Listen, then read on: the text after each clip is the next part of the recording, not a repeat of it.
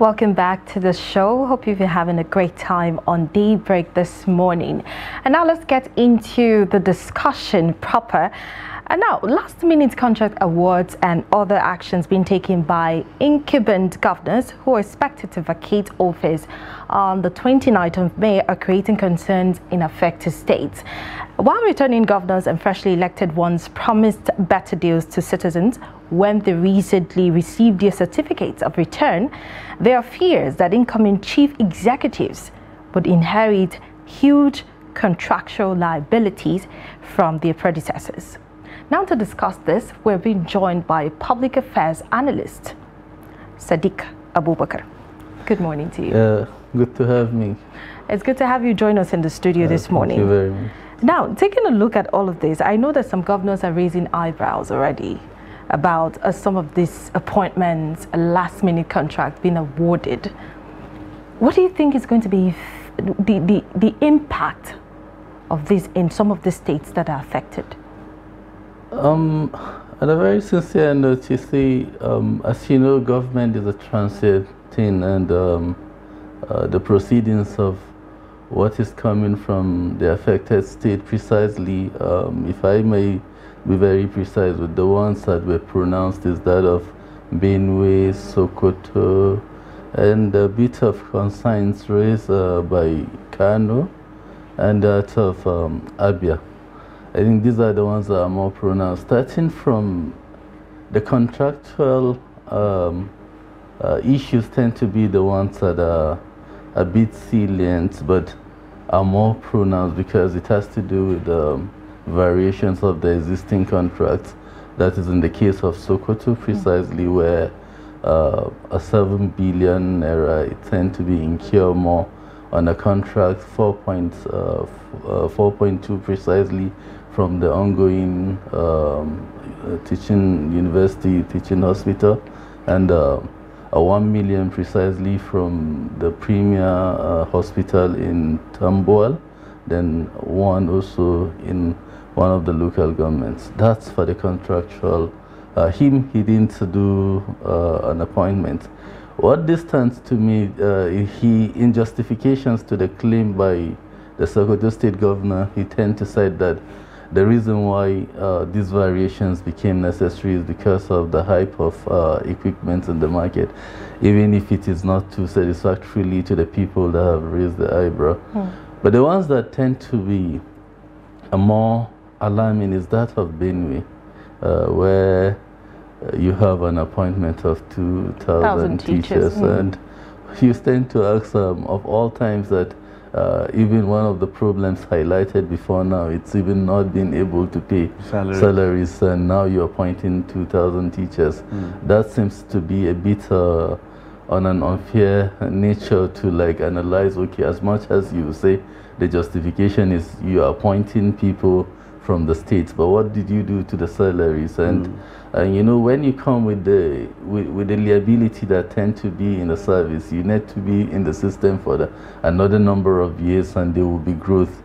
So, are you being real or fair to the incoming government? That is another question to answer, uh, relating to what perspective are you coming mm. from, and also he has secured for the first time in a long time also the uh, NACA, uh, the uh, uh the Nigerian Civil uh, Aviation to uh, construct uh, an airport, airport yes. Uh, 12 uh, kilometers away from the Makurdi uh, town. That also, they keep justifying the fact that you have to wait until the, the you don't even have a say now until it's on 29. They're still in charge of the states until 29 or uh, better say on 28th of May mm. when their time elapsed in office and your time starts as the 29th of uh, May. But the questions are, when you come to uh, Plateau, it's also funny because on last Tuesday he appointed five uh, state uh, high court judges mm. and also the chairman of the customary court of appeal. And they said that from his foundation, the incoming uh, governor is asking him why didn't he do that, knowing that uh, being a, a, lawyer, So he believed by his orientation he should have also earlier on made this appointment. When you highlight all of these things and you come to uh, also in the Abia, where he tend to have um, appoint um, board of directors and also that of Benue, including promoting those guys, rocking some appointments to even permanent secretaries. That all of these things, what they generate is whether it's done in the good of the people or you're trying to put the burden of the people who think that okay they have come with their manifestos and they want to do well there should there be a law hmm. uh, actually guarding against this i mean you are on your way out this person is coming in why must should you burden that incoming administration with things that they they actually have no say over should there be a law to, to guide against that um, that's talking about a law, you know, it's a lot of proceedings. Mm -hmm. But like I said, uh, normally government of whichever kind, even if it's a tier government, which is a local government, is transient. Mm -hmm. By implications, if there are no harms to whatever decisions you make, which are much more likely, like I said, when you check the indices of the liabilities in most states, borrowing and all of that that it gives, it's normally alarming when you're transiting. But mm when you make it look obvious and everybody get to know are you really intending well for the state you've served for almost eight years mm. and now you're going out just because you think your anointed candidate if i should use it have not did not get which mm. is to say okay let me do my last bits of the contractual uh, whatever that we're going to do because normally we know variations and review of projects are, are actually by most of the government let's be fair if there is a time in a contract, normally in the engineering it's called a, a RETS, mm. it's a review of contract sum. So normally uh, most of the projects, uh, once it gets to some years because of, you know how the Nigerian building uh, market is, it's transient and it also fluctuates most on the high or skyrocketing mm. part. So most of the projects actually are due to some some of them will even be reviewed to the presidential because if it gets to some amount, it's not even within the states. Exactly. The state governors have to come to the. So, not all are actually problematic, but where it is obvious is mm. when you start appointing. I'm not forgetting, like in the state, in the Kano state, the incoming or the elected, the newly elected governor has been given his adversary. Mm. I think even the transition committee went ahead to even start questioning uh, to his first adversary is to stop all um, uh, construction or any any anything going on in public place or place of worship, mm. uh, hospitals, and also that I might not think it's okay by the move because it tend to be like okay stop what you're going uh, through now in the construction. What if they had paid? They need to complete the work. Yes. But and going again, I think even in responding to the chairman, uh, the Algon telling them not to even do anything to siphon public funds for finding all of the rerun elections in some states, according to uh, they allegedly said that money are being asked by the uh, local government chairman mm. to provide in order to fund elections. And the, the, the Bapa, who is the chairman of the Algon in Kano State, came out to say, uh, wait until you are in office, then you can decide all decide. of this thing. Okay. All of these issues are of worries because we knew the system that uh, runs a government continuity in this country, and that is why it's of concern that if you check out all of this, you might think, okay, they are trying to still have a little bit achievement of what they have done so far in office or what they need to do. Mm. But whether it's well intended or it's well conceived by the persons mm. in in questions, uh, the incoming government, that is where well, well the timing is what raises the question. I mean, mm -hmm. that what raises the question of the motive. I mean, why now? Yes. Obviously, that is what I said. I mm. said, why now? Because most of this project, including the appointments, uh, most especially that of the appointment, uh, um, putting on who are the commissioners at this time, at this uh, permanent secretaries, and giving this, appointments, uh, appointments of boards and all of this. I think it's a way of putting yourself and and always raise a question of concern because when you're now um, elevating people to permanent secretaries positions, it could be also being perceived as a way of planting people in the system or managerial system to frustrate an incoming administration. Now, talking about frustrating an incoming administration, now we've seen the resultant effects.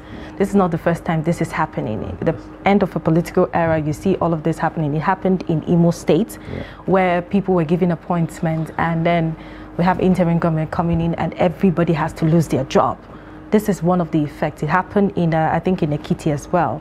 So, don't you think that this is putting the governors-elect and the people at loggerheads when this eventually happens? Like I made it clear, you see, in the three tiers of government that we have in uh, in uh, Nigeria, you have the, the, the federal, the state, second tier, the local government. Not even area council elections. Most of the area council come, or chair local government comes and before you go out, you give a last phase appointment when you come.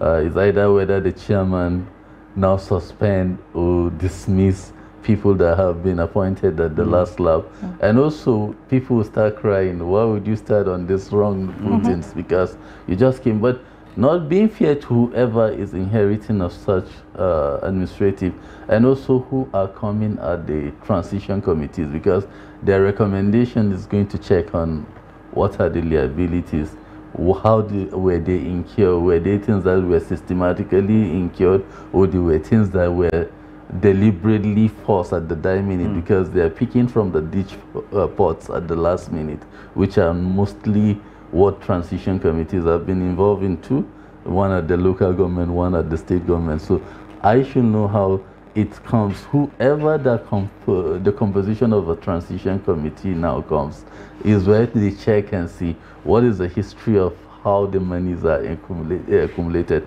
Before becoming a governor or vying for governor, you should have known what is the liability tendencies of a state and what are you coming with the system. Also, you that you're going, don't forget that the the only thing that gives you the immunity is because you're a governor. Mm. And you're losing that part if you're not being sincere with the positions or transitions of how you want to get out of government, you also be called to answer questions.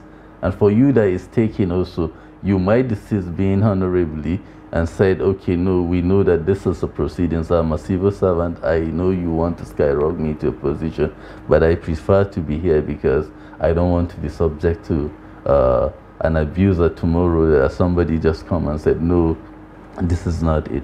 Mm. But if you check at it generally, like we said, if those things are really projects that have uh, a direct bearing to the people, and their projects that are well intended. Like I said of Sokoto, he didn't do appointments, mm. but the variations, people keep asking, why are you checking the variation at the die minute mm. as well? Because, okay, uh, the teaching hospital is a project that everybody knows and it's well intended.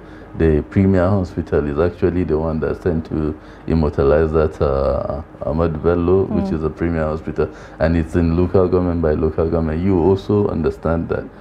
But pushing them at the die minutes mm. is just why it's an issue. Mm. All right, now, so talking about things that um, that can be done and things that can't be done. Um, for, for example, now most situations happen when these um, last-minute uh, decisions are taken by the outgoing administration. Once the incoming administration comes, it actually reverses some of these things, and mm. just like you said, it puts the person at loggerheads with the people. Now. Uh, so let's take the issue of Kano State, for example. The governor-elect issued an advisory for lenders that they should not lend the state government money unless has its his his say so or his his his contribution is, is, is, is sorted out.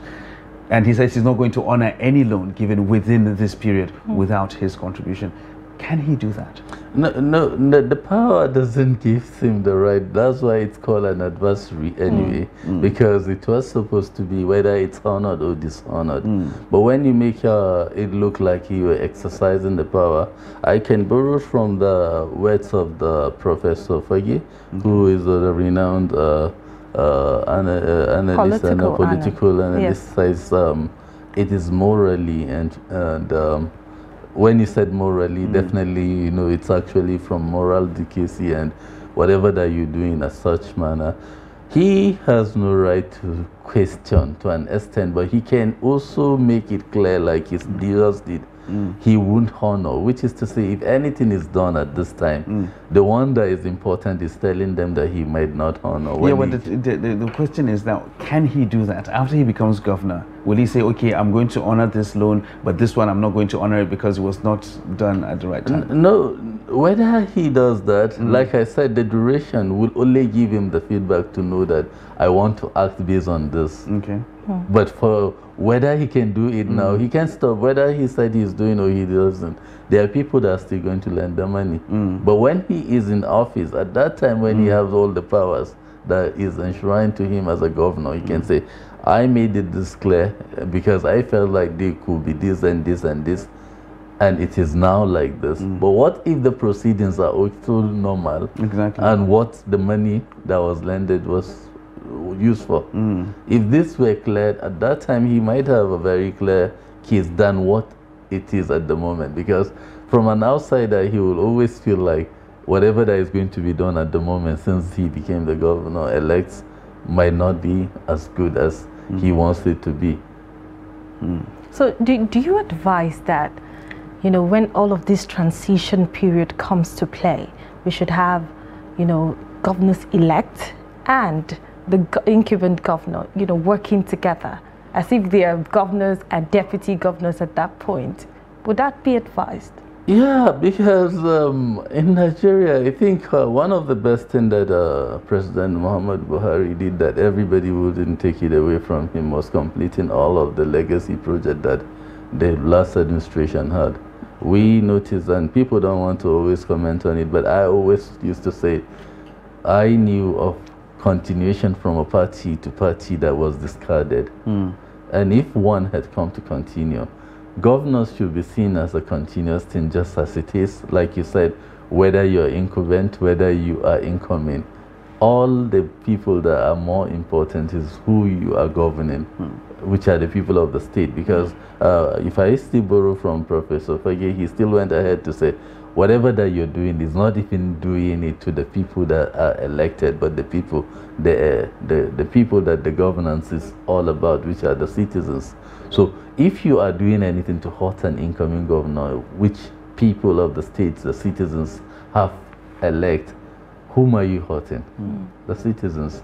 So continuation should be a way that okay i can finish from you as a governor so if i come in i will still render you an elderly advice and i will also be a reference point to you Let me not create that hitch that okay when you come you feel you see me as someone who tried to truncate processes even not clearly mm. but who tried to stop me by doing what i should start or to hit the ground running trying to settle the liabilities that they are all right. Could this be uh, a, a, direct consequence of how our campaigns are actually run? Because um, some of the most, some of these campaigns, when you look at them, they're they're very vile. Lots of mudslinging, lots of name calling, uh, and all that. Do you think that's what makes it difficult after the elections for these two parties to come and sit down and say, okay, fine, let's work together? Because mm. there, there's a lot of animosity between between between the two sides.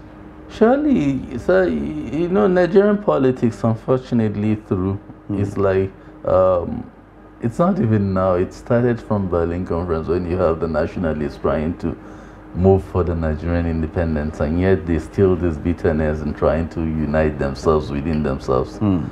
Because the campaigns in Nigeria have never been as peaceful as dialogue in okay, we have what we want to do for this country, so let's collectively do this thing. No everybody had to stay as an antagonist to another person without, like you said, the, our campaign get heated up to a level that lives are lost mm-hmm. sometimes, mm -hmm. even if not reported.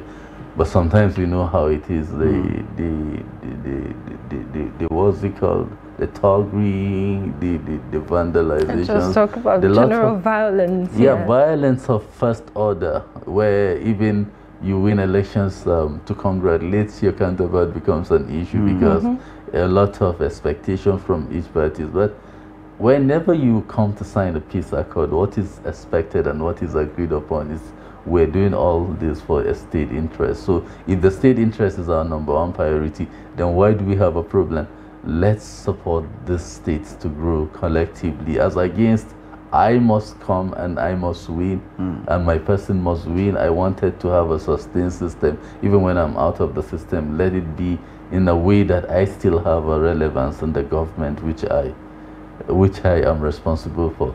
Mm. And also, there are stock. Uh, you can see there are a lot of examples in states that went a different. I think Nigerian democracy is growing. Mm. Uh, checking what happened in Zamfara and some other states even the Benue we're calling in question, it's a lot of things have shown that things are not right because if the governor can lost out uh, his anointed candidate and also himself mm. losing seat, about 14, you can count how many governors that did not make the Senate, which is to tell you that you have a true test of what you're doing, that people are assessing whether you have truly served or whether you were actually serving yourself. Mm. Also, if all of this were checked, then government should be a way in a way that they can relate, they can uh, they can do a lot of things in progressive manner rather than just this uh, last hitches or last uh, contract awards and appointments. I think going forward, like you said, if a National Assembly is going to look for it and see it as a matter of call because um, it will still interest you to know that 60% of the Senate and uh, more of advanced people that were former governor. Ex-governors, exactly. Yeah, so so it's a it's a uh, it's a place where if they sit down and make the law, mm. ordinarily it should go. But because they knew they're protecting where they're coming from, it would be hard for them. But maybe if the national, uh, if the House of Reps tend to be, which is more younger, mm. but thinking they will also, they're trying to also fit exactly. in the one day. Exactly. So everybody tend to make a law that goes in a way either stopping his future attempt or trying to mm. do what he's protecting that he has already left. Mm. That is becomes of a Nigerian uh, situation. But let's see if things will go differently hmm. because it all boils down to trickle down effect of the governance from the top to the bottom. If that is done and that is achieved, maybe we would start uh, thinking governors wouldn't be acting like um, they're demigods because that is why the implementation of the even the most powerful thing the Nigerian democracy would have witnessed is autonomy of the local government, which is the government that is close to mm. the grassroots. If it is actually being empowered, we wouldn't be talking about what the governor does at that minute because the, the local government would have also been as empowered as the state structure because that is the voice of the people. Mm. But yet, you can see how it has always been thrown to the dungeon when the attempts are made in the National Assembly, even when it tend to pass in bills, the, the House of Assembly tend to reject it because they feel like when you let them have powers, you will not have a say per se because the local government chairman, the transition committees, and all of those are the things that you do to control a state, hmm. which if you don't have a joint accountant, they're scared of what they are going to get or not, then it becomes an issue. So all of these things are going to be checkmate. How do we do going forward? Let's try to implement every uh, unit of the governance, which the, uh, the tier government, if it has a stance, mm. and local government feel like he's a chairman for the people, not mm. chairman for the governor, mm. then it becomes an issue of uh, progressive minded when you have this kind of situations teachers allocations appointment on a very sincere note is not even the duty of a governor. Hmm. Yeah, it is something that is actually supposed to be related to the local education this authority. actually started uh, when, uh, of course, there are accusations and local accusations that this is done to spite some political parties or this is done to spite the governor-elect and all of that.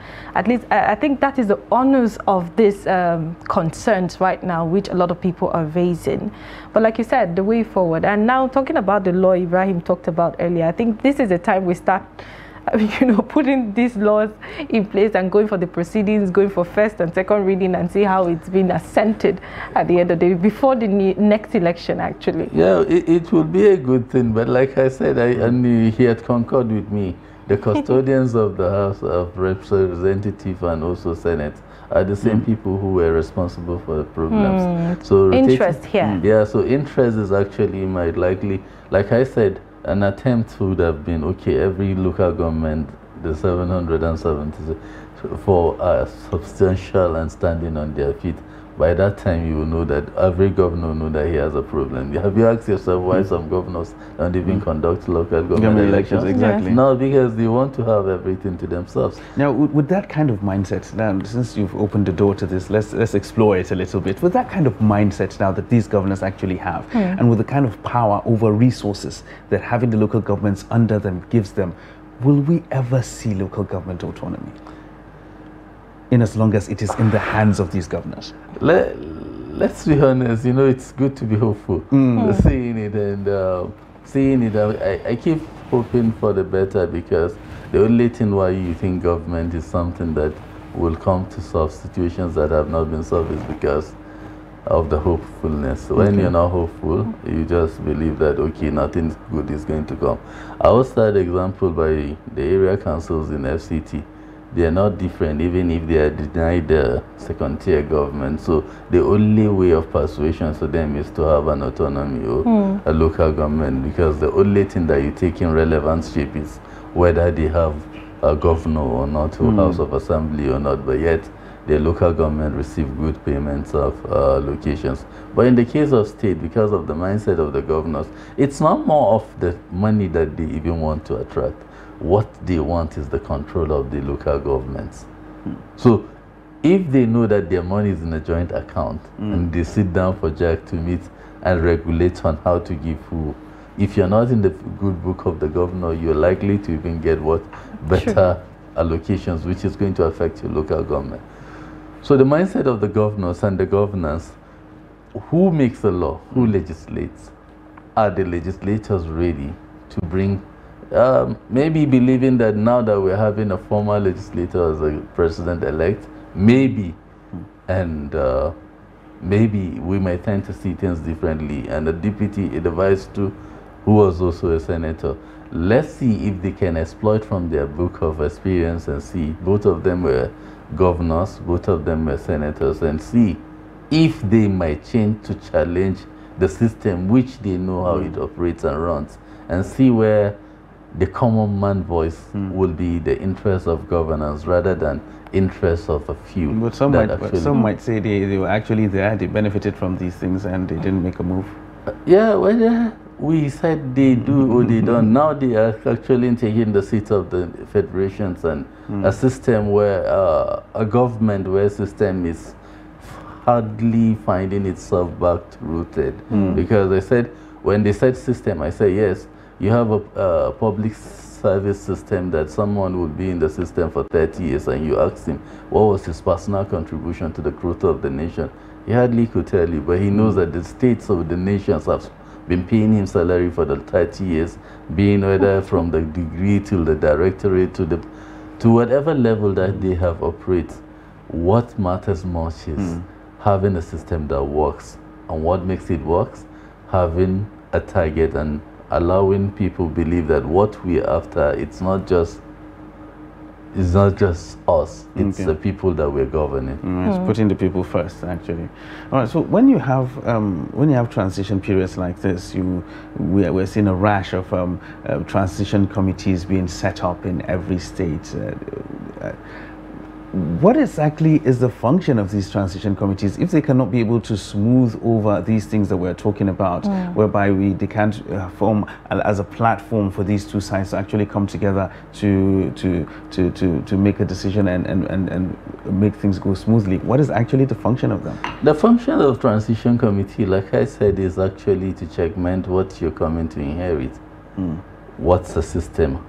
In every of the ministries what has been done, what is yet to be done, what is left outstanding, what are the projects ongoing, which mm. ones are completed, what are the rest of, how much is it, what is the worth of the construction.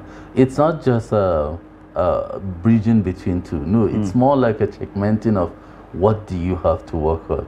Okay. As much as, yes, you contested for governor, or you contested for whatever positions, you needed to know what is it because only as a transition committee you can be given access. And as such, even sometimes there are denial of access to some sensible, sensible materials or sensible information that you need to know. some are actually taken off. Some will come when you are in the system. Mm. Then you realize that even when the transition committee, not everything that was given to the transition committee, but transition committee is supposed to be compositions of legal, financial expertise and all that will come and checkmate what has been done, engineers, town planners, to know what are the standards, how are the, whatever you bring up to this level, then they will take to know, okay, from now this is what you have, these are the documents you have. By the time they are doing handing over, you are presenting him to this, then he open a book, you come, this ministry, this is what I receive about you. Can I be briefed properly? Where's the contractors? Let know what is there. These are what the transition is just to provide you a transient move into a smooth path. It's not actually to cement the relationship, but most of the times when you're doing this, the moment transition committee has said, the incumbent always feel being checkmate mm. or being uh, being tussled to an extent mm. because you just feeling like uh, we've I've seen in two occasions where I have served where an admin uh, an admin head of admin of the PAMSEC admin deny you some information deliberately with that wait until you are in the office then you see what it is okay. ordinarily as a transition committee member you're not even supposed to deny an access because someone who your principal who has set you as a member also wants you to get that mm. information and he is supposed to be allowed but just it's just like the same adversary that we said you have limit at which you can even force a system that you're not totally in charge of mm.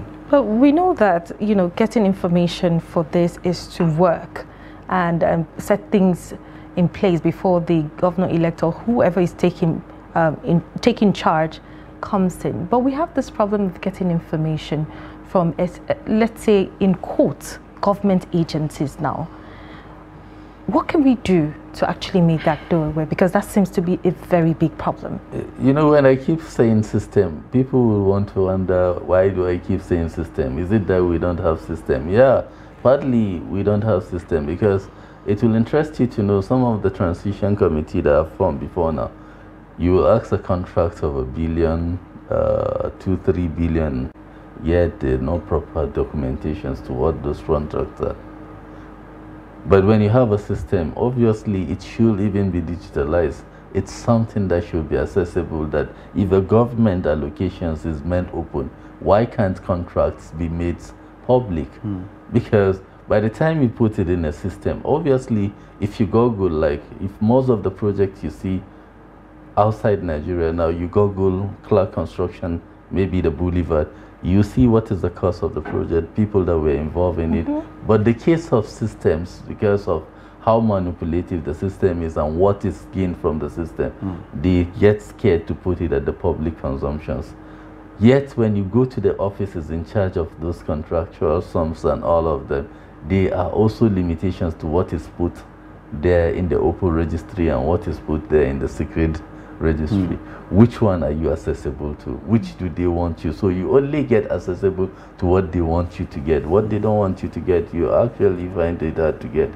Mm. Sometimes they are what they call system deletes anyway. Mm. Okay. So they get to, you don't even know how it gets missing, but yet you just keep looking. Yeah, there was a contract. You keep seeing a lot of temporary files in contractual sums. And this is to tell you that what happens to the main file that you're bringing a temporary file exactly. with the allocation letters and how the movement of transactions were made.